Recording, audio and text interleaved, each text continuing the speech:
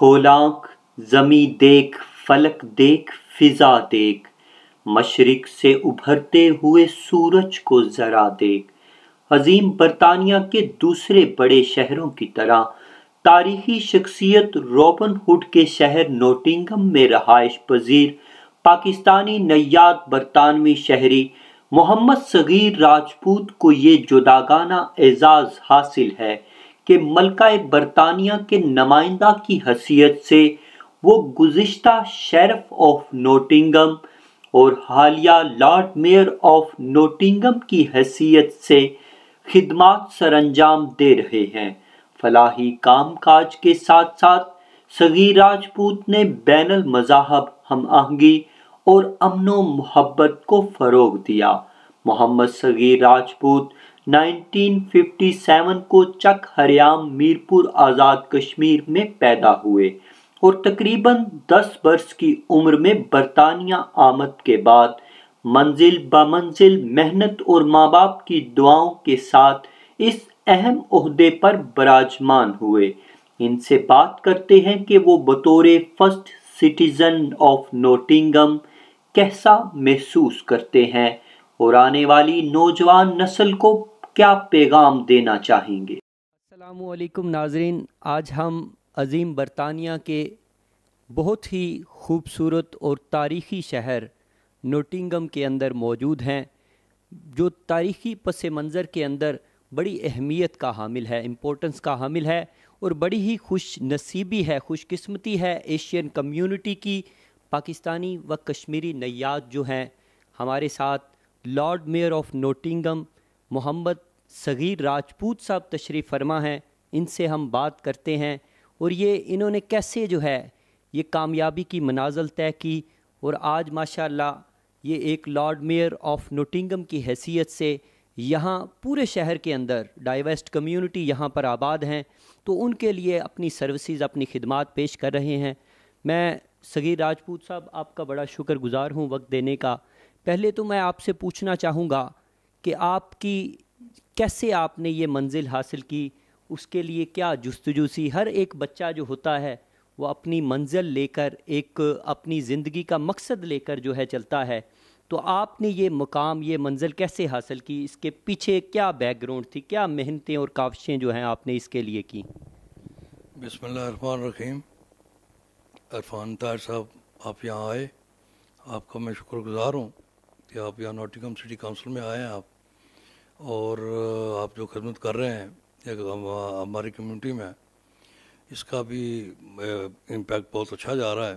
آپ ہر جگہ جاتے ہیں، دوسرے شہروں میں بھی، اور یہ اچھا کام کر رہے ہیں آپ۔ تو آپ نے پوچھا کہ میں یہاں تک میں کیسے میں پہنچا ہوں؟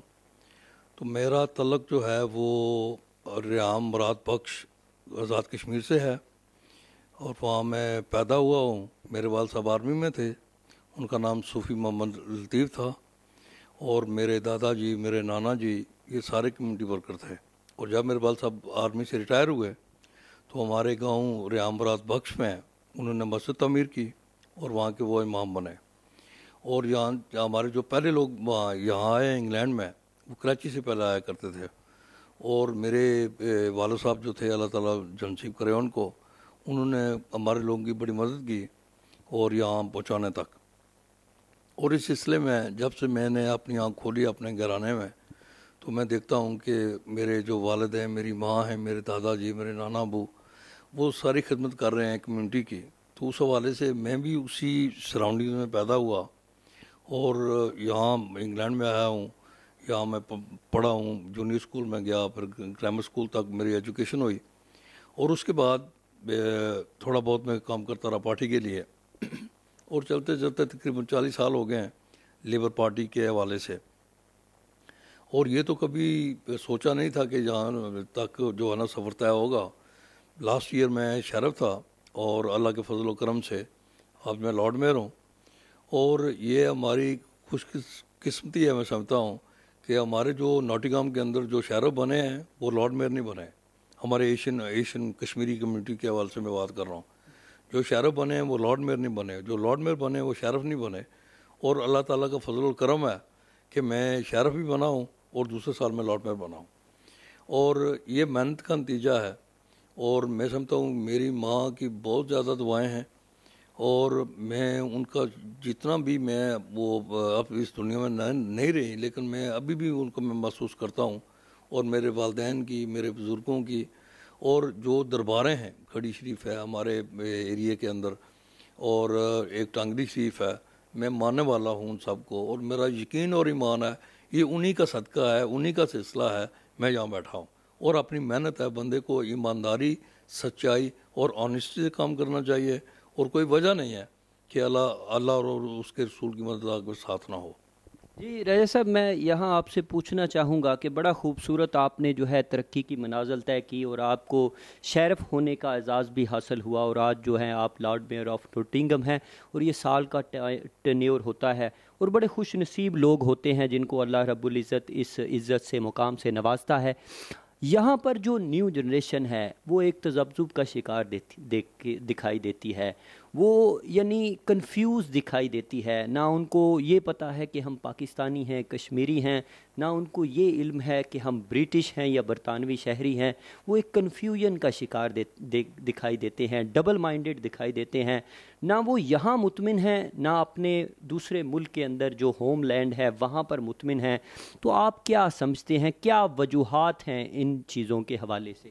عرفان صاحب، پہلے تو میں ایک عرض کروں کہ جو ہمارے بزرگ یہاں پہلے آئے تھے ففٹیز کے اندر، سکسٹیز کے اندر، یہ انہی کا نتیجہ ہے جو تو اس دنیا میں نہیں ہے، اللہ تعالیٰ ان کو جنصیب کرے اور جو بزرگ رہ گئے ہیں، اللہ تعالیٰ ان کو صحت یاب کرے۔ یہ انہی کا نتیجہ ہے کہ ہم یہاں ہم یہاں بیٹھے ہوئے ہیں۔ انہوں نے بڑی محنتیں کی ہیں۔ بارہ بارہ، چودہ چودہ گھنٹے انہوں نے کام کیا ہے اور اس وقت ففٹی سکسٹی کے اندر یہاں کچھ سینٹرل ہیٹنگ کا کوئی ہی نہیں تھا کہ سینٹرل ہیٹنگ نام کی کوئی چیز بھی ہے۔ کارپیٹ نہیں تھے، فلور اور اس وقت جو تھا، ٹولٹیں جو باتھ روم ہوا کرتی تھی، ٹولٹیں باہر تھی اور گھروں میں باتھ روم بھی نہیں تھی۔ اور وہ اس وقت جو ہے نا ایوری سیٹرڈے وہ سارے لوگ پبلک باتھ میں جا کے باتیں کیا کرتے تھے اور گھر میں وہ پرانے ٹائپ کی طرح ہوتے تھی چیزیں۔ اور یعنی اتنی لوگوں نے ہماری محنت کی، ہمارے بزرگوں نے، کہ اس کی وجہ سے میں سمجھتا ہوں کہ ہم یہاں ہیں، بیٹھے ہوئے ہیں ابھی اس وقت۔ اور رہی ہماری جن ینگ جنریشن کی بات۔ تو ان کے پاس تو فیسلٹی ہے۔ ہمارے جو بزرگ آئے تھے، وہ اتنی تعلیم بھی نہیں تھی۔ ان کے پاس وہ انہوں نے سوچا کہ ہمارے بہن بھائی ہیں، کوئی قرضے لے کے آئے ہیں، کسی نے زمینیں بیچی ہیں، کسی نے رشتہ داروں سے، دوستوں سے پیسے قرضہ لے کے وہ اپنے وہ ٹکٹ کے لیے۔ اور پھر انہوں نے کہا کہ ہم نے کام کرنا ہے، بارہ بارہ، چودہ چودہ اٹھارہ اٹھارہ گھنٹے انہوں نے کام کیے ہیں۔ اور کبھی کبھی سننے میں یہ بھی آیا ہے کہ انہوں نے کہا کہ صبح آنا، اٹھارہ گھنٹے لگا لیے ہیں۔ صبح چار گھنٹے کے بعد آ جانا ہے، تو گھر کیوں جاؤں؟ اب مشینیں یہاں گھر میں تو کیوں نہ یہاں سو جائیں، سویرے کام یہاں سے شروع کر دیں گے۔ اور کتنی بار ہمارے بزرگوں نے ایسے کیا ہے؟ اور اتنی سردی وہاں پڑتی تھی کہ میں آپ کو کیا بتاؤں؟ اور اس کے باوجود ہمارے بزرگوں نے اتنی محنتیں کی ہیں کہ میں اس کی، ان کی وجہ سے یہ چہل بہل ہو رہا ہے۔ یہ سارا کچھ جو دیکھ رہے ہیں نا آپ، ہم ہم دو بار متاثرین منگلہ ڈیم ہوئے ہیں اور ہمیں وہ سہولتی حالت نہیں ملی جو ہم نے قربانیاں دی ہیں۔ ہمارے بڑوں نے قربانیاں دی، ہمارے بزرگوں کی جو قبریں ہیں وہ پانی کی نظر ہو گئی اور ہمیں کچھ صلاح نہیں ملا اس کا۔ اور جن کو زمینیں پاکستان میں ملی ہیں، کہ ان کو کبھی قبضے نہیں ملے ہیں۔ ابھی تک گڑبڑ ہو رہی ہے۔ لوگوں کے زمینیں چھینی گئی ہیں ان سے، ان کا کوئی حق نہیں ان کو ملا۔ تو یہ پاکستان جو گورنمنٹ ہے، اس کو دیکھنا چاہیے کہ جو قربانی دینے والے لوگ ہیں، ان کے ساتھ یہ ہو رہا ہے۔ اور یہ دیکھ لیں کہ آزاد کشمیر، اگر میں ہمارے لوگ یہاں نہ آتے تو میں آپ کو بتاتا کہ آزاد کشمیر کا حال کیا ہوتا۔ اچھا رائے صاحب، میں یہاں آپ کو پوچھنا چاہوں گا کہ آزاد کشمیر کو بیس کم بھی سمجھا جاتا ہے تحریک آزادی کشمیر کا۔ آج آپ کہاں دیکھتے ہیں کہ برطانیہ کے اندر ڈائسپورا کمیونٹی جو ہے وہ لاکھوں کی تعداد کے اندر موجود ہے۔ آج بھی ہم اپنا کیس جو ہے عالمی عدالت میں صحیح معنوں میں جو ہے وہ پیش نہیں کر سکے۔ آپ کیا سمجھتے ہیں کس کو مورد الزام ٹھہراتے ہیں کہ جس کی وجہ سے تحریک آزادی کشمیر جو ہے ستر سال یعنی گزرنے کے باوجود، قربانیاں دینے کے باوجود آج بھی جوں کا تون جو ہے مسئلہ دکھائی دیتا ہے؟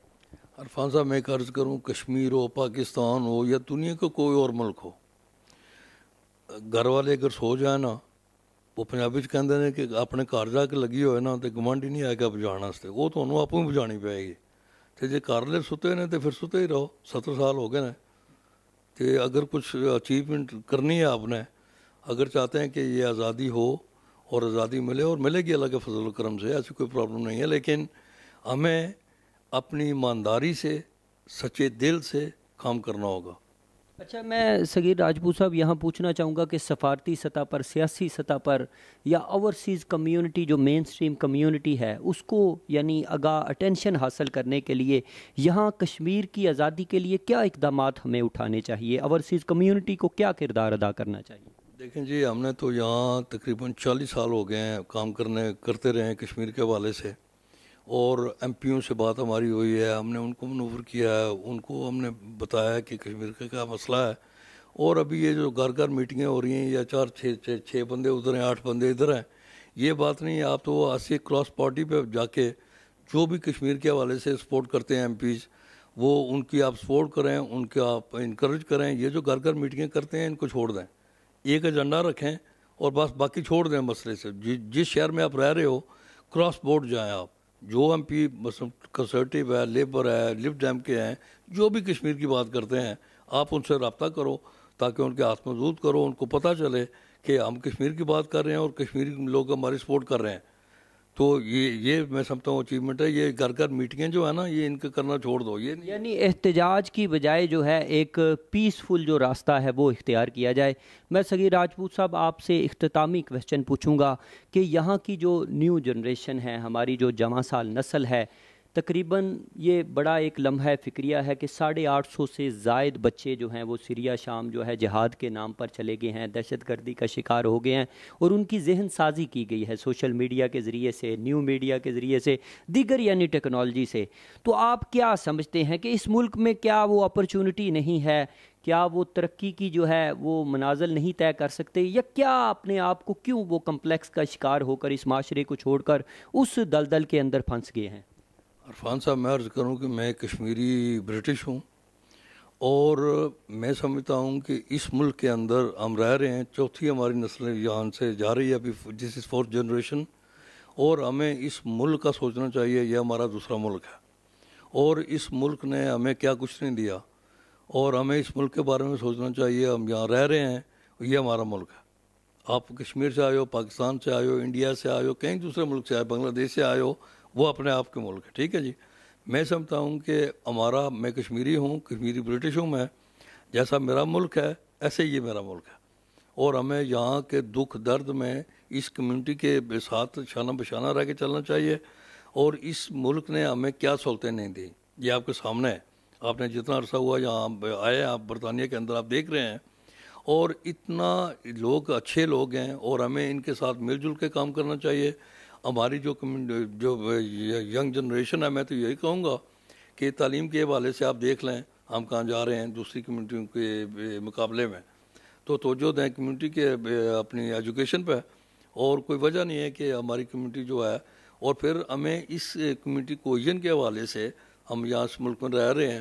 اور برطانیہ بھی ہمارا ملک ہے۔ وہ پنجابی کے اندر نا، جدہ کھاؤ دے گن گاؤ۔ اور یہی وہ مسئلہ ہے کہ ہم نمک رامی نہ کریں۔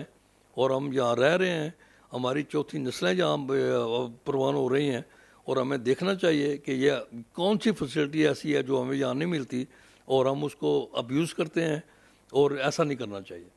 جی بہت مہربانی ناظرین، آپ نے محمد صغیر راجپوت صاحب جو کہ لارڈ میئر آف نوٹنگم ہیں، ان کے احساسات و خیالات اور جذبات سنے کہ ہمیں یہاں پر ہمارے جو پاکستانی کمیونٹی کے اور کشمیری نیاد جو برطانوی شہری ہیں وہ ہاؤس آف کامنز میں نظر آتے ہیں۔ ہاؤس آف لارڈ کے اندر اور بڑی ہی پرومیننٹ پوسٹوں کے اندر موجود ہیں۔ ان لوگوں کو آئیڈیل بنانا چاہیے جو پازیٹیو امیج جو ہے، وہ کمیونٹی کا وہ لے کر چل رہے ہیں۔ مثبت سرگرمیاں اپنا رہے ہیں اور انہی زندگی انہی کی زندگیوں کو فالو کرتے ہوئے ہم یہاں پر ایک برٹش ایک گڈ برٹش سٹیزن کے حوالے سے جو ہے، اپنا دنیا کے اندر ایک بہتر رخ جو ہے تصویر کا وہ پیدا کر سکتے ہیں۔ تو ان لوگوں کو جو ہے اپنا آئیڈیل اور اپنا کردار بنانا چاہیے جو یہاں پر اپنی زندگی کامیابی کے ساتھ جو ہے بتا رہے ہیں۔ وہ یہاں کے قوانین کو، قائد قائد و ضوابط کو جو ہے اس کی بھی پیروی کرتے ہیں اور اس ملک کو بھی اپنا ملک جانتے ہیں، اس کو پریارٹی دیتے ہیں۔ یہی ترجیحات ہوں گی اور انٹیگریشن کے حوالے سے بھی آپ نے سنا کہ یہاں پر ڈائیورسٹ کمیونٹی آباد ہیں۔ تو ان کو بھی اپنے جتنے بھی مذاہب ہیں، بین المذاہب ماہنگی کی ایک فضا جو ہے، وہ ہمیں لے کر چلنا چاہیے اور پیس کا، امن کا پیغام جو ہے، اس کو فروغ دینا چاہیے۔ اس ملک کے اندر بہت سی اپرچونٹیز وسائلز موجود ہیں۔ ان کو بروئے کار ہم نے لانا ہے۔ کیونکہ خدا نے ہمیں اگر ایک اپرچونٹی دی ہے اس برطانیہ کی سرزمین سے اگر ڈاکٹر علامہ محمد اقبال جیسی قیادت مل سکتی ہے، قائد اعظم محمد علی جناح جیسی جنہوں نے جو بانی پاکستان ہیں، اس جیسی قیادت مل سکتی ہے۔